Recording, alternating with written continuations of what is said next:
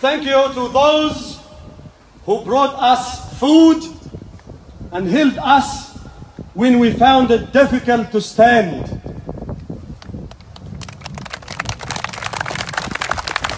Thank you. Thank you, New Zealand, for teaching the world what it means to love and care.